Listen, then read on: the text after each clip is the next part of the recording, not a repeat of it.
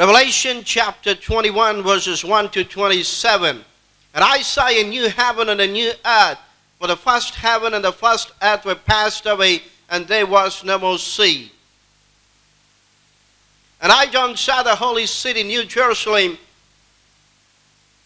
coming down from God out of heaven, prepared as a bride adorned for her husband. And I heard a great voice out of heaven saying, Behold, the tabernacle of God is with men, and he will dwell with them, and they shall be his people, and God himself shall be with them and be their God.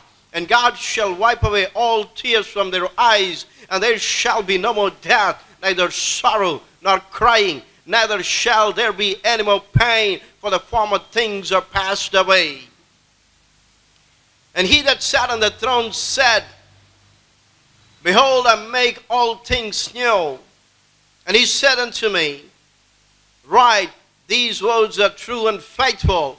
And he said unto me, It is done, I'm Alpha and Omega, the beginning and the end. I will give unto him, I will give unto him that is attached of the fountain of the water of life freely.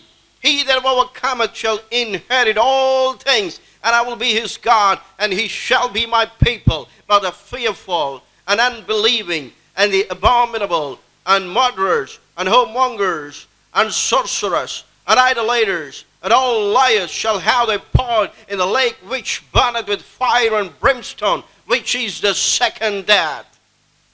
And they came unto me, one of the seven angels which had seven vials full of the seven lost plagues, and talked with me, saying, Come hither, I will shew unto thee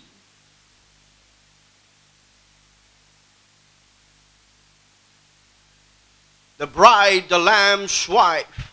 And he carried me away in the spirit to a great and high mountain, and showed me that great city, holy Jerusalem, descending out of heaven from God, having the glory of God. Her light was like unto a stone most precious, even like a jasper stone, clear as crystal, and had a wall great and high, and had twelve gates, and at gates twelve angels, and names written thereon, which are the names of the twelve tribes of the children of Israel.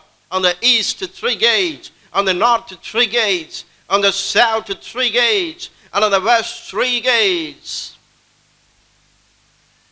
And the wall of the city had twelve foundations, and in them the names of the twelve apostles of the Lamb. And he that talked with me had a golden reed to measure the city, and the gates thereof, and the wall thereof, and the city light for square, and the length is as large as, as a breadth. And he measured the city with a reed, twelve thousand furlongs, and the length and breadth and height of it are equal. And he measured the wall thereof, and hundred forty and four cubits according to the measurement of a man, that is of the angel. And the building of the wall of it was of jasper. And the city was pure gold, like unto clear glass. And the foundations of the wall of the city were garnished with all manner of precious stones. The first foundation was of jasper, the second sapphire, the third a chalcedony, the fourth an emerald, the fifth sardonyx, the sixth sardius, the seventh chrysolite, the eighth beryl, the ninth the topaz, the tenth a chrysoprasus, the eleventh a jacinth, the twelfth an amethyst.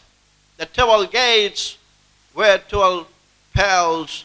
Every several gate was of one pearl, and the street of the city was pure gold, as it were transparent glass. And I saw no temple therein, for the Lord God Almighty and the Lamb were the temple of it. And the city had no need of the sun, neither of the moon to shine in it, for the glory of God did light in it, and the Lamb is the light thereof. And the nations of them which are saved shall walk in the light of it, and the kings of the earth to bring their glory and honor into it. And the gates of it shall not be shut at all by day, for there shall be no night there, and they shall bring the glory and honor of the nations into it. And there shall in no wise enter into it anything that defileth, neither whatsoever worketh abom- abomination, or make it alive, but they which are written in the Lamb's book of life.